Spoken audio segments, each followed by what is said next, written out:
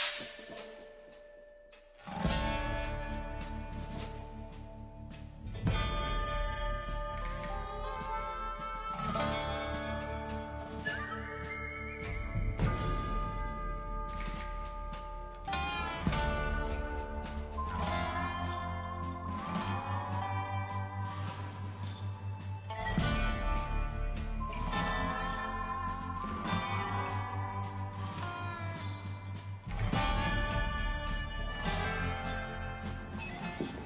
right, the good part is we are past the earth science stuff.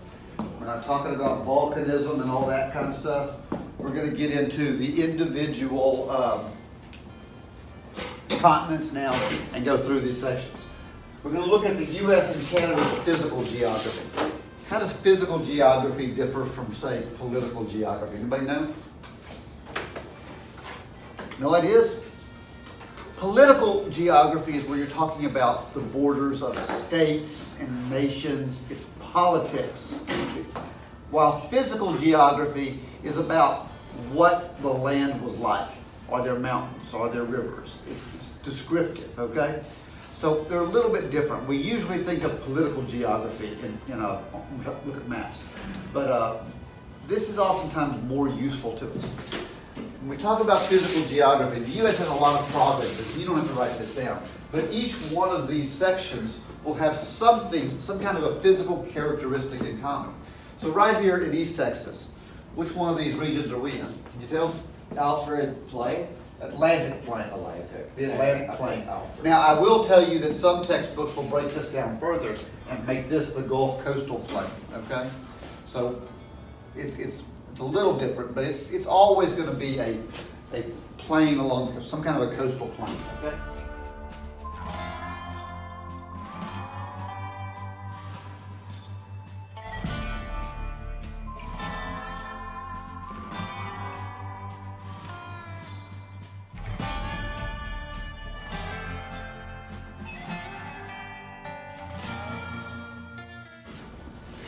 All right, write this down. So the U.S. and Canada share several uh, geographic features. One of these are our major mountain ranges. And there are three major mountain ranges in the U.S. and Canada. And you could probably name two of them just off the top of your head.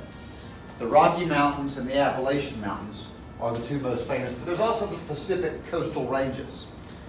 Um, and you should at least be a little familiar with these from our plate tectonics discussions where we talked about how when the plates come together, uh, they can form mountain ranges. So you get the Rocky Mountains out on the west coast, almost on the west coast. You have the Appalachian Mountains along the east coast.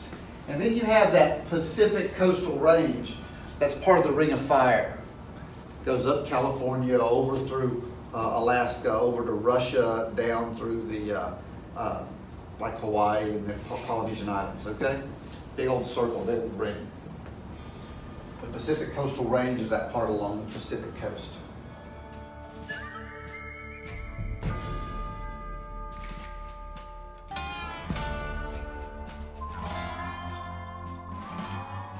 All right.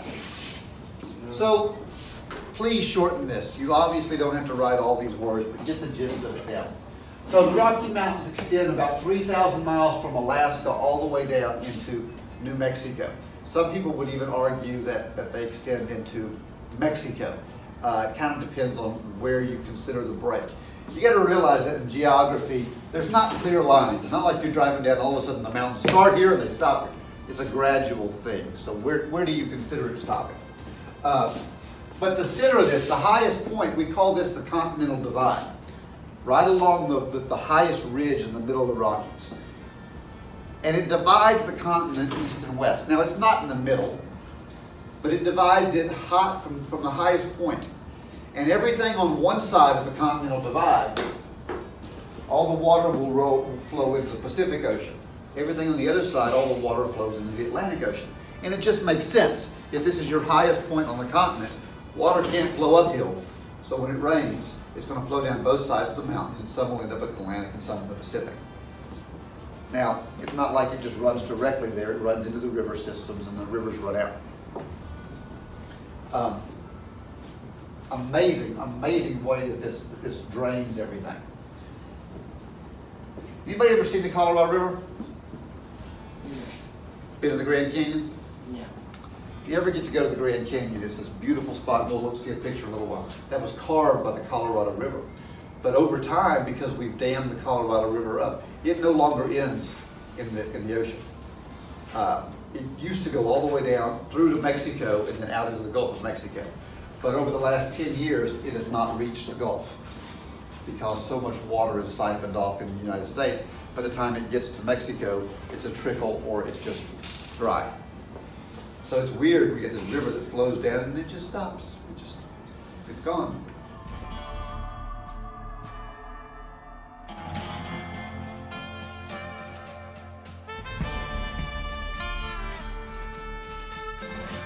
So this is the Rocky Mountains. This is the part we're talking about. Now, if you could imagine the highest part of that mountain range, right across the middle, if you just took the highest parts and went straight down the middle, everything on one side drains this way, and everything on the other side drains that way. That's why we call it the Continental Divide. Even though it's not in the middle, it does divide the continent. Does that make sense to everybody? Yeah, we understand how that works? Yeah. Okay.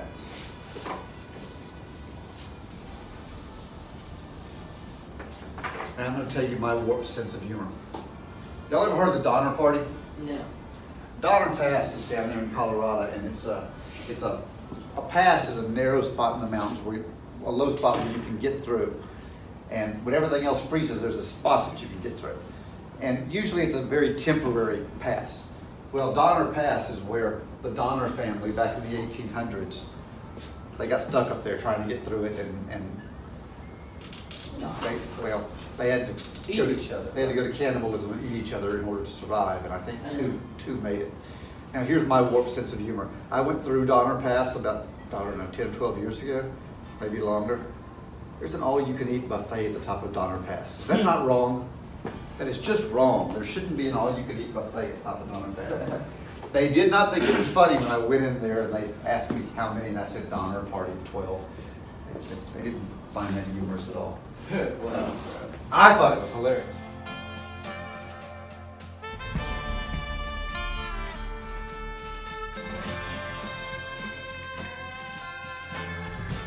All right, then we have the Appalachian Mountains. The Appalachian Mountains extend about 1,600 miles north to south, all the way from Newfoundland, Canada, down to Alabama. Uh, and again, some people would say down possibly even into Florida, but it's, there's not a hard stop spot. Uh, Alabama's probably the better, the better place. These are beautiful mountains, but they're not nearly as majestic and large as the Rockies. They're older mountains. How can you tell an older mountain range from a younger mountain range? I don't know anything about. Anybody? Because the newer ones are going to be sharper. And newer ones are sharper, and the older ones are more rounded off because they've been weathered. Do you have a question? Yeah, who get it? So, this is a, a lot milder mountain range. The Smoky Mountains are part of this. The Appalachian Mountains, the Great, uh, uh, the Blue Ridge Mountains, those are all part of this Appalachian spread.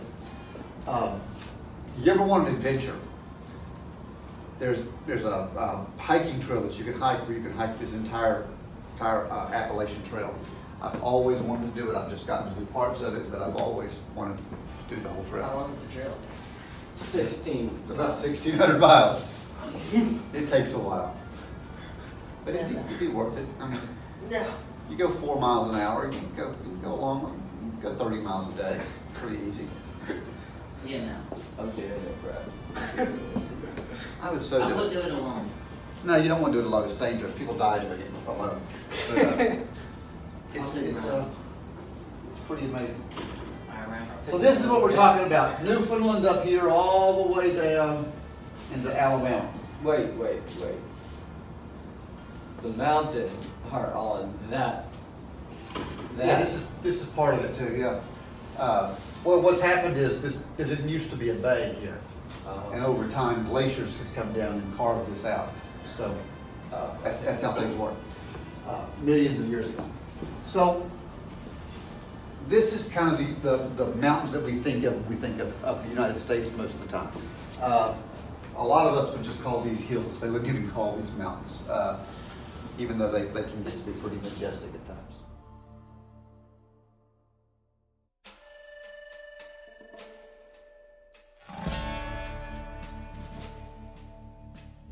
The Pacific Coastal Range is right here along that Pacific coast, and it actually goes up further, but on this map, it's just showing it in North America, in the United States. Stretching from Southern California to Washington, really up into Canada and down to Mexico too. Um, Down to Baja, Mexico. The big thing about this is that it's part of the Ring of Fire. What's, what's the Ring of Fire again? uh, volcanic and where the plates are. Yeah, it's where the plates meet, right? And it tends to be a spot where there's a lot of tectonic activity, whether that be uh, volcanoes or earthquakes.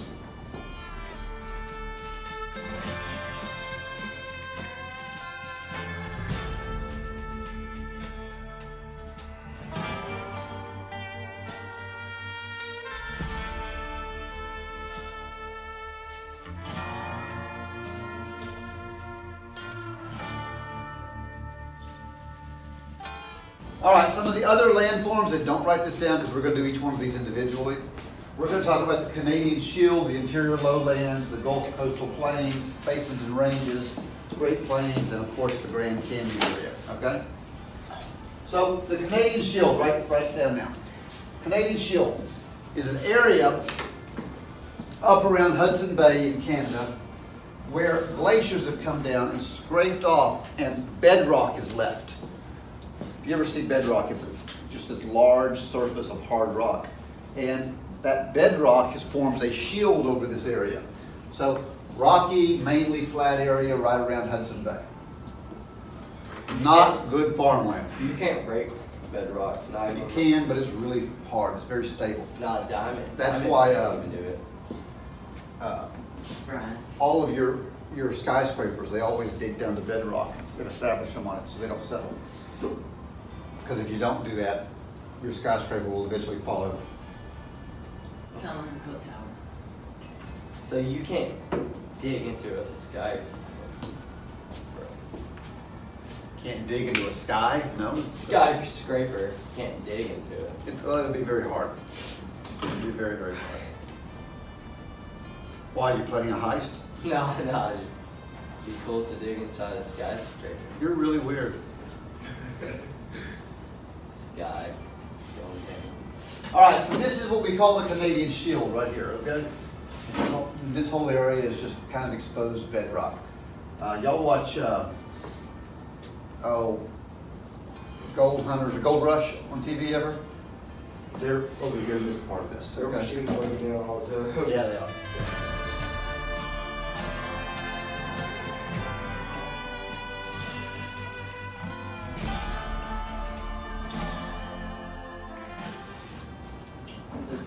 The interior lowlands. You can imagine just from the name what this is going to be. And if you know the name, you kind of know where it is. Interior, inside the United States, in the middle, lowlands, it's going to be a very swampy, very uh, uh, uh,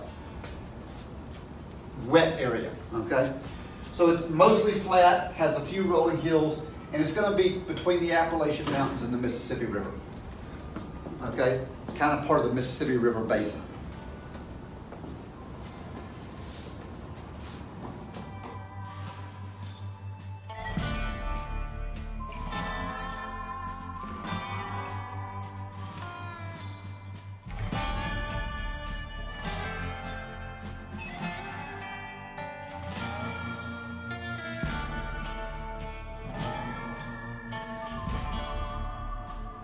The Arctic, that's not supposed to say Arctic, it's supposed to say Atlantic. Good job. No, no, it's not, it is, It's- I'm sorry. The Arctic and Gulf coastal plains. So we're gonna look at both of these. Flat areas, they either stretch along the Gulf of Mexico or the Arctic Ocean in the north. So these flat areas along a gulf, whether it be the Arctic Ocean or the Gulf of Mexico.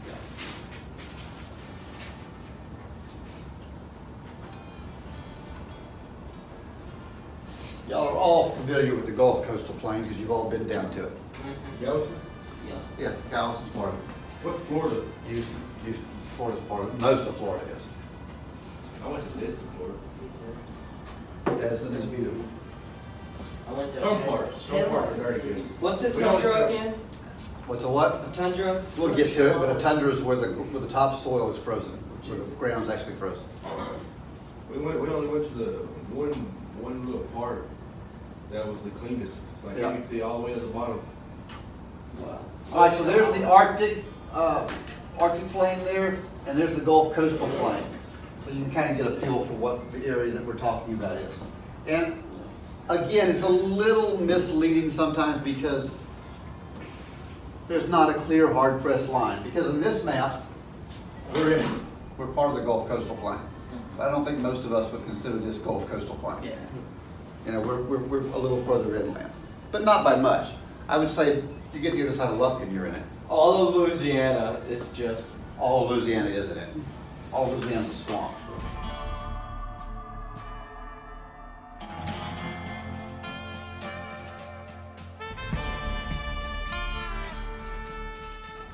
All right, basin and range area, uh, this is not nearly as large as the others. It's mostly gonna be in Nevada. And it's gonna have a lot of rocky outcroppings. What that means is, uh, it's gonna have a lot of these exposed sharp rocks that are out there. Um, and the basins are these large depressions that have been dug out. Again, glacier movement has caused a lot of this.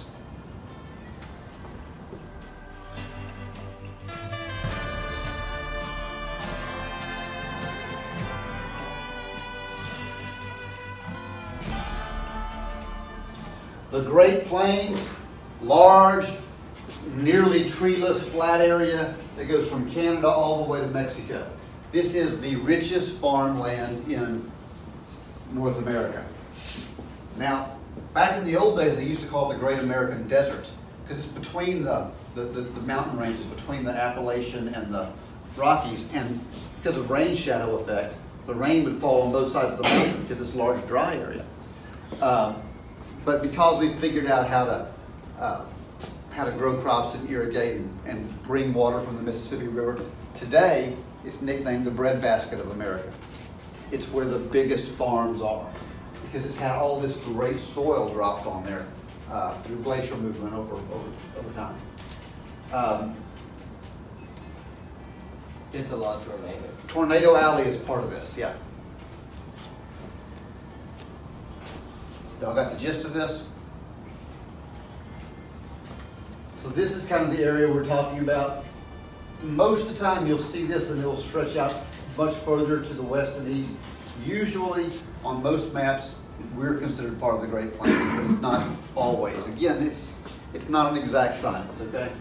But this is roughly the Great Plains. And you can see how Tornado Alley right through here goes right on top of it. And again, that's not exact either because frequently we're part of it, but you can see on this, we're right outside of it. Um, this is the area where tornadoes happen a lot. And why is because you've got this warm, moist air coming in from the Gulf and this cold, dry air coming, coming down from, from the Arctic area. And when they hit, when you have hot and cold, think about what happens. Hot air rises, cold air drops, and then as, it, as that hot air starts to cool, it's going to get heavier and come back down. So it starts getting this cycle that happens, okay? As one's rising and one's dropping. And if that starts happening fast enough, what happens? You get a tornado, you get a cyclone, okay? Um, very destructive. Y'all have all seen that.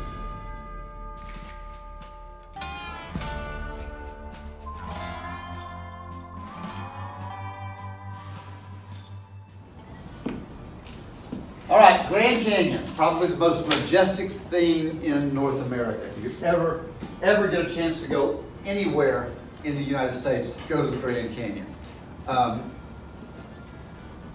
it was formed by water erosion along the Colorado River. Uh, it's 277 miles long, ranges anywhere from four to 18 miles across.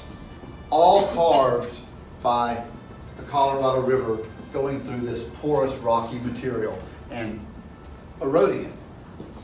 Um, most of the Grand Canyons in Arizona, although not all of it, there are different parts. You can go to Grand Canyon National Park, which is amazing. Uh, or you can go over to the Indian Reservation, and the Indian Reservation built a, a skywalk a few years ago. They have a glass walkway that goes out so you can walk over the Grand Canyon looking down, and it's, it's kind of amazing.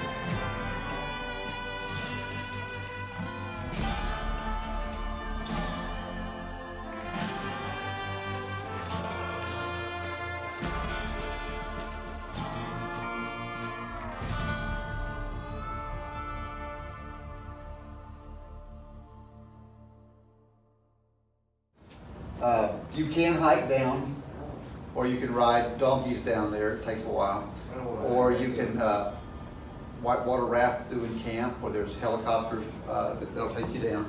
So it's absolutely amazing. I wanna take the, I wanna take the donkey ride down one day. Yeah, but then my donkey would suicidal and jump off the side. That's possible. You, you never know what you're gonna get when you rent animals. I, uh, I rented a- horses up in Yellowstone a few years ago, my wife and I did, we went out backcountry. and She got this really nice, calm horse, and they gave me Huckleberry, and Huckleberry wanted to go really, really fast and then stop and slide. Lock his legs, it was like a cartoon, lock his legs in and slide down the mountain. Which is okay with me, it's kind of fun. So Colorado River carved all this. Again, absolutely amazing to see. That means this horse has some good breeds. Means that, means that horse hasn't been broken, is what that means.